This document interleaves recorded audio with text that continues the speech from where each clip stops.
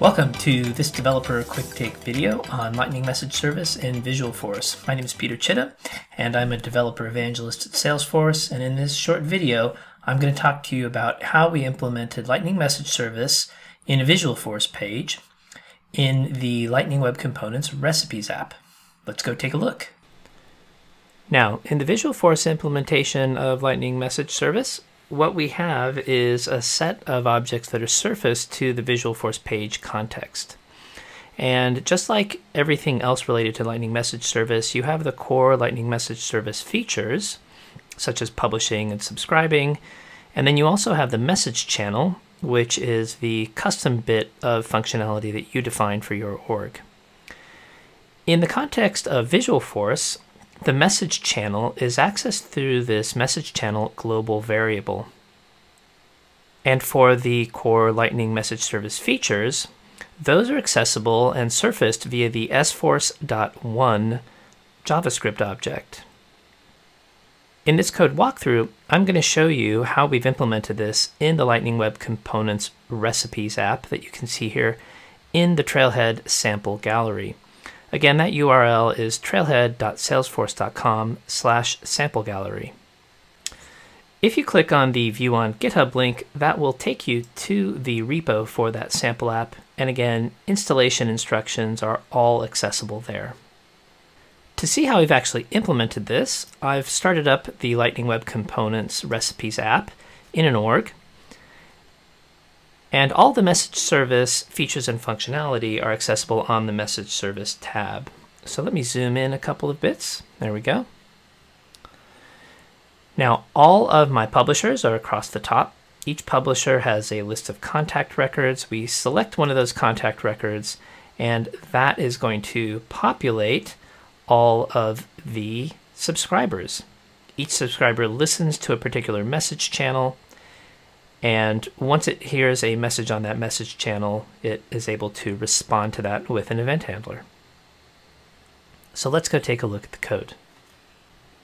Taking a look at the message channel, you can see here that the name of this message channel is record underscore selected. Message channels get an underscore underscore C appended to the end of them, and that becomes their API name. And we're going to see this in all of the places where we reference that message channel. So let's go take a look at our first Visualforce page, the publisher. Our publisher is pretty straightforward. We are importing the actual JavaScript as a an ES6 module that is in a static resource. So our static resource is this LMSVF static resource. And for this particular Visualforce page, we have a static resource of the same name as the page we're importing this set page configs. And that's so we can pass in things like the message channel and the publish. Now, theoretically, we don't actually need to pass in publish.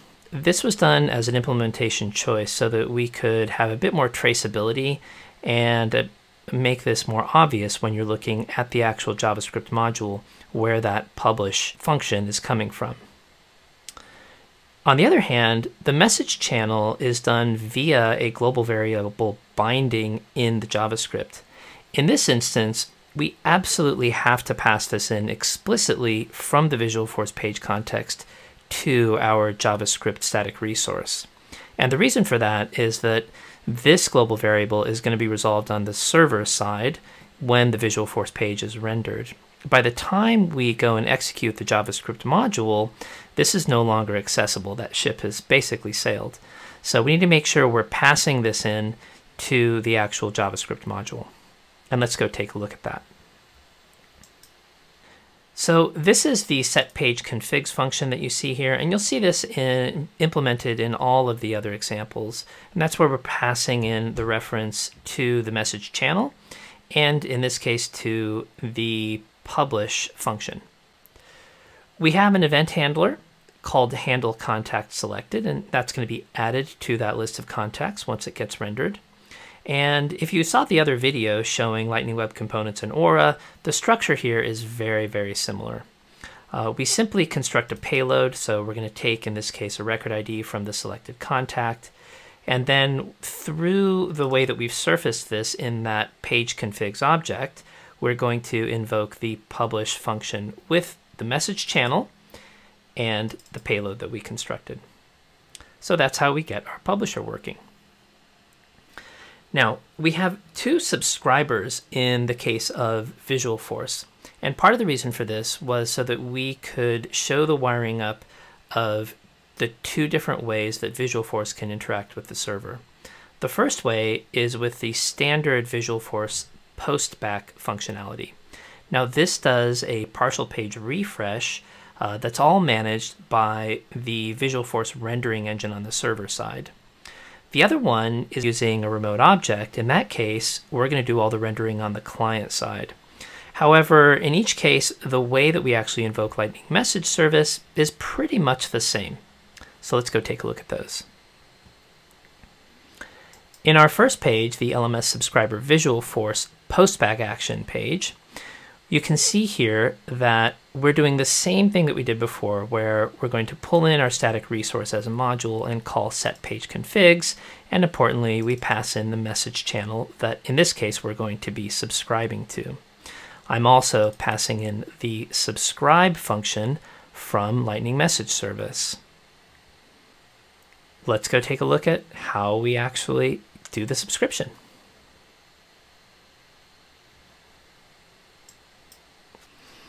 The subscription is being done on the ready state change event. So this is an event that allows us to see that everything is ready on the page, all of the resources, all the images, etc.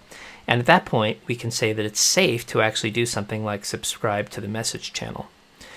And you can see here, uh, there's a bit of abstraction going on in this example. We have a subscribe to message channel function where we pass in the message channel that we saw on the Visualforce page and we pass in a handler. And of course, subscribe to message channel is where we're going to actually trigger the LMS subscribe function, which is the wrapper for subscribe. Let's go take a look and see how it looks on the Visualforce remoting page. And what you can see is it's pretty much identical. Again, we pass in the message channel, we pass in subscribe. In the JavaScript static resource, we have our ready state change event handler. We invoke the subscribe to message channel wrapper, which then invokes subscribe, which we passed in from the Visualforce page.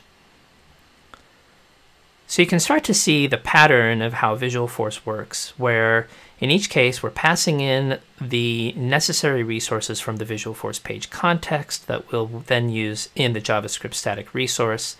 And then we're either using the JavaScript static resource to publish the message or we're subscribing to that. I've been talking about Lightning Message Service a few times to developer groups out there in the community. And as part of that, I have a small presentation that I've been using, and I want to share it with people who are watching this video. Now there's some good content in here, but the main thing I want to make sure people are aware of is this slide right here, where in one of the appendices, I have added a bunch of links to all the different places where there are code samples and where you can go to Trailhead and learn how to use Lightning Message Service.